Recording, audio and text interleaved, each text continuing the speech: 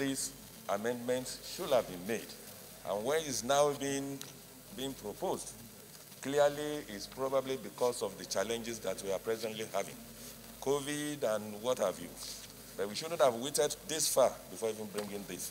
But Mr. President, let me say this. I've listened to several of my colleagues, and we are all in sync with one, one thing, and that is the fact that, yes, we need to increase our revenue.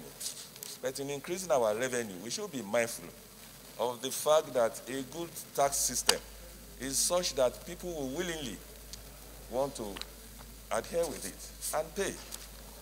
When we create a system that people are now running away, evading taxes, not avoiding them, then you know there's a crisis, Mr. President.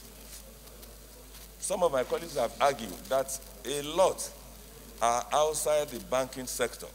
A lot of our people, not even those in the informal sector that is even doing something every day, that probably in a day they go to the market, whatever they earn, and that day that they will feed on. But there are several millions. And I'm sure that, uh, is it Senator Susan that was saying that when you go out there, you see legion of people, everybody, begging for money. It's now a norm. And until when we do things like this, that will make all of them to work. Because ordinarily, nobody, we want to be begging. But clearly now, it's like a norm. People do not have things doing. And until when we begin to create a system that will enable our people to work, look at all our youth. And there no work will be created, no employment will be created unless we have our infrastructures in place. It is when we have all infrastructures in place that our real sector will be developed. Until our real sector is developed, we'll be chasing shadows. Agriculture, mining, manufacturing. Until all of those are attended to, we'll just be chasing shadow like this.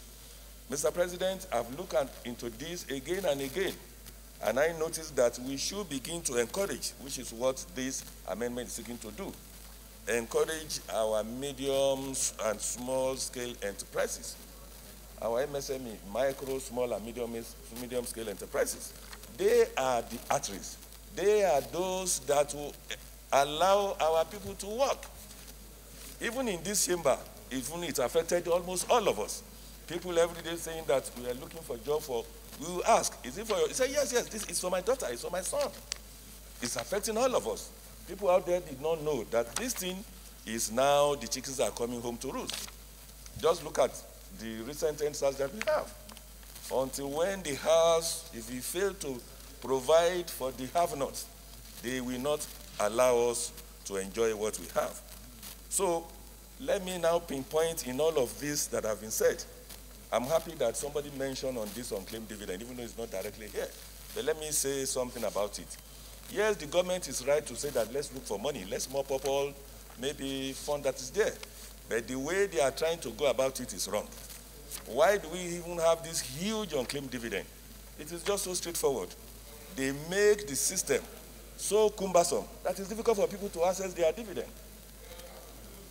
Look at during the time of boom, all these banks, people were buying, buying shares, buying this, buying that. And when the thing collapsed, the banks were reduced from maybe 50 about 100 to maybe maximum of 20. All of those up to today, nobody can access their dividend. And now the government are now planning to just more or less, maybe they want to access this fund. The rule says that maybe after 15 months, the unclaimed dividend will be returned back to those companies. The money are there. But what we should do is to ensure that those money work for us. It is not by maybe the government going directly through fiat, fiat and take the money. No. What we should do is to now reduce all of those bottlenecks that will enable people to claim their dividend. Once you lose your lost, loved ones, anybody that died, it is difficult for the next of kin of people that you left behind to even access those funds. And until when those are done, we'll continue to do like this. Look at our pension fund. We have huge amount of money there. These are money that should have been used, but people don't have confidence in the system. And that is why nobody is ready to let go with those money.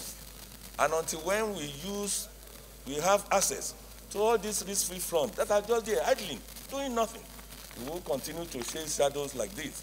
I have looked into what we are trying to do. We should find a way to, to get all this informal sector into the banking system. And the best way to do it is to continue to encourage our people to work. And there will be no work unless we do the right thing. Infrastructure will be in place, and once infrastructure is in place, then people will begin to do the needful.